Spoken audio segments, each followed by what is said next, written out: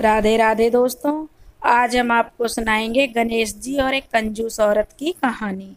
अगर आपको हमारी कहानी पसंद आए तो प्लीज़ हमारे चैनल अपनी संस्कृति को लाइक करें, सब्सक्राइब करें और शेयर करें। एक औरत थी, उसे एक बच्चे को खाना खिलाना था, पर वह औरत बहुत कंजूस थी। उसने सोचा कि बहुत छोटे से बच्चे को खाना खिलाऊँगी तो वह कम ही खाएगा। इसलिए शाम को जहाँ बच्चे खेलते थे, वह वहाँ पर गई और सबसे छोटे बच्चे को तलाशने लगी। क्योंकि वह तो यही सोच रही थी कि जितना छोटा बच्चा होगा, उतना ही कम खाएगा। अब गणेश जी ने उसे सबक सिखाने की सोची। अब गणेश जी एक छोटे से बच्चे का रूप धारण कर के और उन बच्चों में आकर खेलने लगे। जब उस औरत की नज़र उस छोटे से बच्चे पर पड़ गई, जो कि गणेश जी थे तो वह उससे बोली, बेटा, तुम कल मेरे घर खाना खाने आ जाना।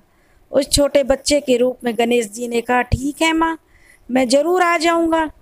अगले दिन जब गणेश जी छोटे से बच्चे के रूप में उसके घर गए तो उस औरत ने उसे बच्चे, उस बच्चे रूपी गणेश भगवान को आसन पर बिठाया और उनके आगे एक थाली में दो पूड़ी, थोड़ा सा हलवा और थोड़ी सी खीर परोस दी।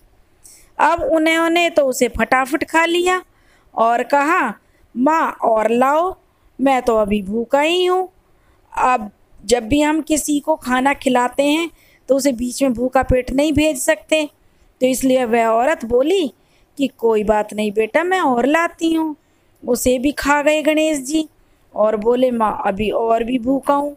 तो वह औरत और खाना लाती है और गणेश जी उसे भी खा जाते हैं। अब वह औरत लाती जाती और गणेश जी खाते जाते।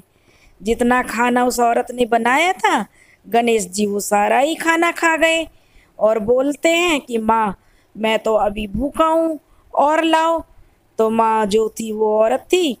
औरत बोलती है कि, जितना खाना मैंने बनाया था, तू तो वो सब खा गया। तो गणेश जी बोलते हैं, जो तेरे भंडार में मूंग रखे हैं, वो ले आ।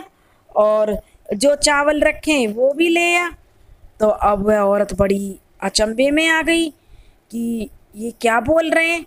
तो उसने सोचा कि ऐसे ही बोल रहे हैं। और जाकर मूंग की जो बोरी थी, वो भी उठा लाई। जो चावल का कट्टा था, वो भी उठा लाई। उसे भी गणेश जी खा गए। वो तो देखकर रोने लगी और रोती जाती और लाती जाती। गणेश जी ने कहा, जितना गुड़ रखा तुम्हारे भंडार में, वो भी ले आ। औरत गुस्से में सब लाकर रखती जाती और गणेश भगवान सब खाते जाते हैं। गणेश जी कहते हैं, घर में जो दालें रखी हैं, वो भी ले आ। और वे दालें भी खा जाते हैं। फिर कहते हैं, घर में जो आटा रखा है, वो भी ले आ। और आटा भी खा जाते हैं। गणेश जी कहते हैं कि, तूने जो बोरियों में गेहूँ का भंडारण कर रखा है, वो भी ले आ। अब वह औरत रोती जाती और लाती जाती। सोचती कि किस भूत प्रेत से मैं घर में ले आई हूँ। किससे मेरा पाला पड़ गया? इसको मैंने छोटा बच्चा समझ कर लाई थी कि कम खाएगा, लेकिन यह तो कुंभकर्ण राक्षस से भी ज़्यादा खाता है और वह बैठकर रोने लगती है।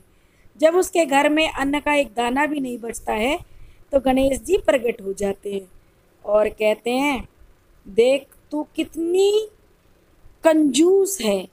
तुझे एक बच्चे को खाना खिलाना था। उसमें भी तू सबसे छोटा बच्चा ढूंढ के लाई। इसलिए मैंने तेरे को सबक सिखाने के लिए ऐसा किया।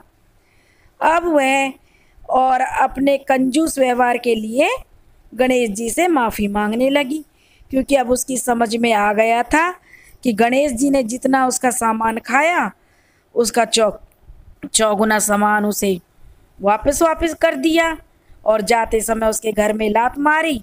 उसके पुराने घर की जगह एक सुंदर महल बन गया। नौकर चाकर हो गए, अंधन के भंडार भर गए।